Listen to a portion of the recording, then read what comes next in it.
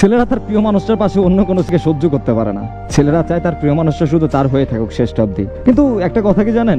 সম্পর্কে যখনই তৃতীয় পক্ষ আসে, সেই সম্পর্কটা আর বেশি দিন বাঁচে না। একটা ভাই আমাকে বলতেছিল ওর সাথে আমার তিন বছরের সম্পর্ক। আমরা দুজনেই একই ক্লাসে পড়তাম। ও ছিল কমার্সে আর আমি সায়েন্সে একটা মেসেঞ্জার গ্রুপ থেকে ওর সাথে আমার কথা বলা শুরু হয়। তাও ঝগড়া দিয়ে। তারপর আস্তে আস্তে কথা বলতে বলতে পার্সোনাল ইনবক্সে ওর সাথে কথা বলা শুরু হয়। কথা বলতে বলতে ওর সাথে আমার খুব ভালো একটা সম্পর্ক হয়। এভাবে ওর সাথে আমার কথা চলতে থাকে। একদিন সে হুট করেই আমাকে প্রপোজ করে বসে। কিন্তু আমি তখন অবধি তাকে দেখি নাই বা তার কোনো ছবিও দেখি নাই। প্রপোজ করার পর ওর কাছ থেকে আমি ছবি চাইছিলাম। ও আমাকে ছবি দিছিল, কিন্তু ওর দেখার পর আমার কথা বলার ইচ্ছেটাই যেন হারিয়ে গেল। ও একটু মোটা আর কালো ছিল। আমার সাথে ওকে মানায়? এইসব ভেবে চিন্তায় ওর প্রপোজালটা আমি রিজেক্ট করে দিই। কিন্তু আমার প্রতি ওর আসক্তিটা ছিল প্রবল। আমি ওর একটা মেসেজ দিলে ও আমার বিশটার উপরে রিপ্লাই দিত। এতটা পাগল ছিল আমার জন্য। তারপর ওর এত পাগলামি দেখে ওরা আমি ব্লক করে দিই সব কিছু থেকে। কিন্তু ও তখনও না হাল ছাড়ে নাই।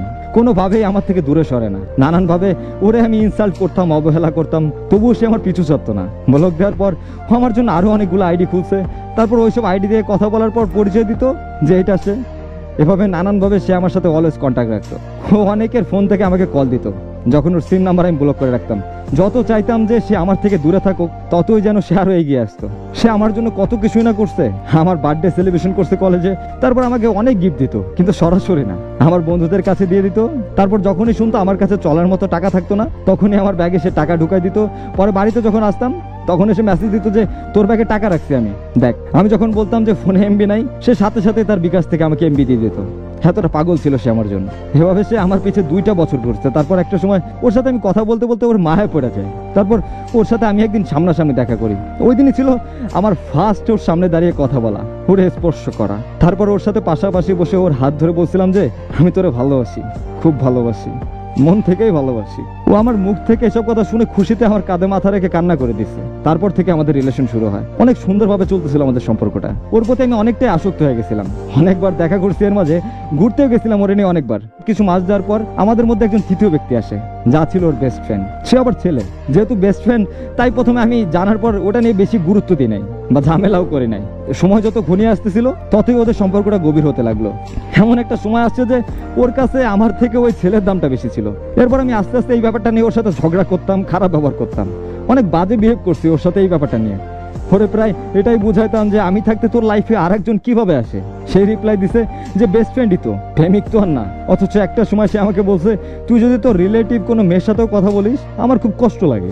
ওর জন্য আমি অনেক পরিবর্তন হয়ে গেছি। অথচ সে আমাদের মাঝে একটা তৃতীয় ব্যক্তি নিয়ে আসলো। সম্পর্কটা তখনই নরবরে হয়ে গেল কিছুটা। দূরত্ব সৃষ্টি হলো আমাদের। ওরা যত বলতাম যে ওই ছেলের সাথে কথা বলিস না, ও বলতো যে আচ্ছা ঠিক আছে, বলব না। কিন্তু ও আমাকে সবসময় মিথ্যা বলতো। ওই ছেলের সাথে সে ঠিকই কথা বলতো। যে ছেলের জন্য ওরা প্রতিনিয়ত বেশি কথা বলতাম, খারাপ ব্যবহার করতাম, তবুও সে ওই ছেলের সাথে কথা বলা বন্ধ করল না। এত কিছু হওয়ার পরও যাকে বুঝাইতে পারি নাই, তার থেকে আমি নিজেই সরে আসছি। কথা বলা অফ করে দিছি, রাগে অভিমানে ওর কাছে ফিরে যায়নি। ও আর ফিরে আসে নাই। কিন্তু ও সব সময় সবার কাছে বলতো, আমি নাকি ওর সাথে অনেক বাজে বিহেভ করতাম। কিন্তু কি কারণে ওর সাথে বাজে বিহেভ করতাম সেটা বোঝাইতে পারি নাই। যে আমাকে এতটা ভালোবাসছে, সে একটা সময় এসে আমাকে বলছে যে তোর জন্মের দোষ আছে। এই কথাটা বলার পর ওর সাথে আমি আর কোনো কন্ট্যাক্টই রাখি নাই। তারপর যা বুঝলাম, আমার প্রতি ওর যে ভালোবাসাটা ছিল তা মরে গেছে। তার বিয়ে হয়ে গেছে। কিন্তু সে আমাকে জীবন্ত লাশ বানায় দিয়ে চলে গেল। এই গল্প থেকে কি শিখলেন আপনারা? সম্পর্কে যখনই তৃতীয় পক্ষ আসবে, দেখবেন একটা সময় ওই সম্পর্কটা শেষ হয়ে যাবে। সে যতই সুন্দর সম্পর্ক হোক না কেন। আরেকটা কথা কি, কোনো ছেলেই তার ভালোবাসা মানুষটার ভাগ অন্য কাউকে দিতে চায় না। আর কোনো ছেলেই চায় না তার ভালোবাসার মানুষটার পাশে অন্য কোনো ছেলে থাকুক। হোক সে তার বেস্ট ফ্রেন্ড ছেলেরা এসব সহ্য করতে পারে না। আর তাই আপনাকে বারবার বোঝানোর চেষ্টা করছে। সবার চিন্তা ভাবনা তো এক না। সে যে আপনাকে প্রচণ্ড ভালোবাসে, এটা হয়তো তারই প্রমাণ? কারণ কোনো ছেলে যদি আপনাকে ভালোই না বাসবে, তাহলে আপনার বেস্ট ফ্রেন্ড নিয়ে কেন কথা বলবে? প্রচণ্ড পরিমাণে ভালোবাসে, তাই হয়তো এই ভয়টা পায়। এটাকে খারাপ খারাপভাবে কেন নিন আপনারা? আপনিও যদি তাকে মন থেকে ভালোবাসেন, তাহলে তো আপনার কাছে সব থেকে দামি মানুষটাই সে, তাই না? তাহলে তার খুশির জন্য ছেলে বেস্ট ফ্রেন্ড নাই বানাইলেন, সমস্যা কি? ভালোবাসার মানুষটার জন্য এত কষ্ট করতে পারেন? এতটুকু কি করতে পারবেন না? তাই তো সম্পর্কে তৃতীয় পক্ষকে গুরুত্ব না দিয়ে ভালোবাসার মানুষটাকে গুরুত্ব দেন। তাহলে অন্তত এই সুন্দর সম্পর্কগুলো নষ্ট হবে না, আর হারাইও যাবে না। ভালো থাকবেন সবাই। আল্লাহ হাফেজ।